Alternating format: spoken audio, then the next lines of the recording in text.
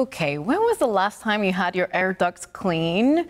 If the answer is never, don't worry. This is why we have Dan Billingsley, president of Heatwave Heating, Heating, Cooling, and Plumbing here with us to talk about some recommendations and even replacement if that's what's needed.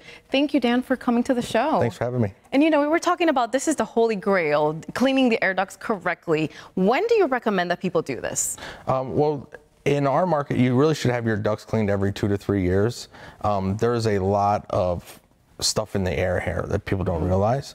A lot of molds, bacteria, danders, and stuff in the air. And then it depends on your home too. If you have pets, kids running in and out of the house, age of your home, and etc. And you know, sometimes we don't even think about what we have up there in the attic. This is where the unit is mostly placed in most homes, right? Is that the standard? Yeah, well, at least a third of it is. Okay. So a third of your air conditioning system is your ductwork. Okay. It's what brings the cold air around to the house from the air conditioner.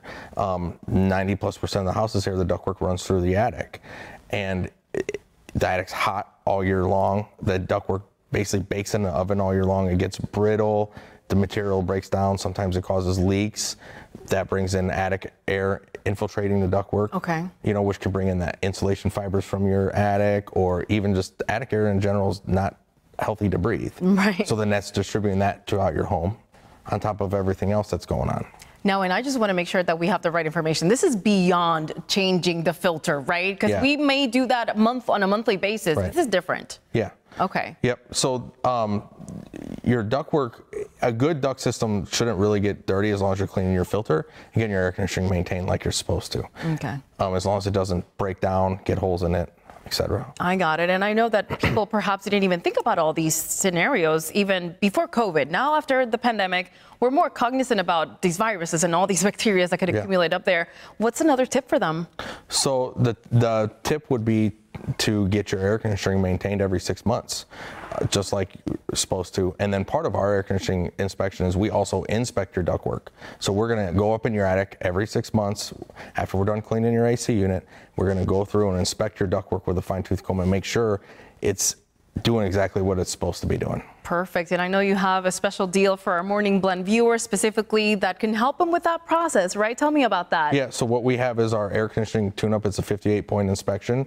We're going to clean and inspect your AC system, and part of our AC inspection is we also do a full ductwork inspection. So we're going to crawl through the attic, inspect your ductwork, make sure everything is exactly what it's supposed to be. Um, if there's any issues, we'll, we'll let you know. But you you definitely want to know because most people aren't going to go crawl around their attic to find Right. out themselves. And you know, we want to keep the healthy environment. So that is a must, specifically here in Florida when we have these long weeks of just, you know, hot Uh. weather that that AC is cranking there, huh? Every day. Of course. And of course, you have more information about this deal for our Morning Blend viewers. You can log on to heatwavehvac.com or the number on your screen. Thank you, Dan. Thanks for having me.